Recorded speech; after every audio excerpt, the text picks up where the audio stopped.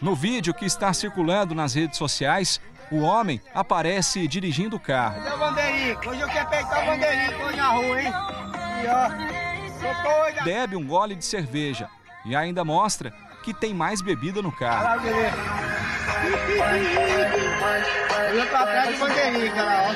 O homem se refere ao delegado Manuel Vanderic, titular da Delegacia de Crimes de Trânsito de Anápolis.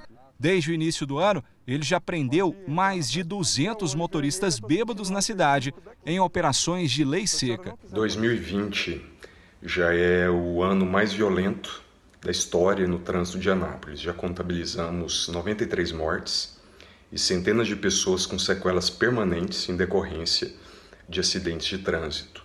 Cerca de 30% desses eh, acidentes automobilísticos estão diretamente vinculados ao uso do álcool. Hoje, é, acidentes de trânsito são a maior causa da morte de jovens no Brasil. A maior parte dos leitos de UTI nesse país estão ocupados por acidentados de trânsito. No início do mês, o motorista de uma caminhonete voltava de uma festa e furou o sinal vermelho na Avenida Brasil Sul, em Anápolis. Ele bateu num caminhão carregado de tijolos. Dois passageiros do caminhão, um jovem de 26 anos e um adolescente de 15 anos morreram na hora. O teste do bafômetro apontou que o motorista da caminhonete estava bêbado. Ele continua preso e vai responder por dois homicídios dolosos, lesão dolosa, embriaguez ao volante e direção perigosa. O detalhe é que ele já tinha sido preso no último dia 4 de julho por policiais da DICT por dirigir a mesma caminhonete embriagado.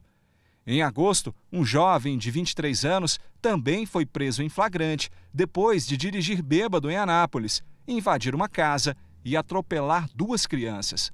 Diante desses fatos, nós podemos afirmar que a embriaguez ao volante hoje é um problema não só de segurança pública, mas de saúde pública.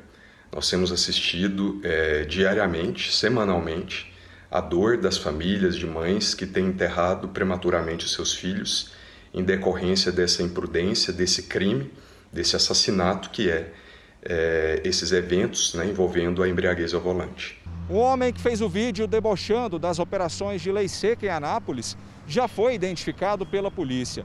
Por ter feito imagens bebendo enquanto dirigia, o motorista engraçadinho vai responder por embriaguez ao volante e receber uma multa de 3 mil reais. Como o teste de bafômetro deixou de ser a única prova suficiente para a prisão, essas resoluções do CONTRAN descrevem é, uma série de sinais da embriaguez suficientes para comprovar esse sintoma, né, esse crime.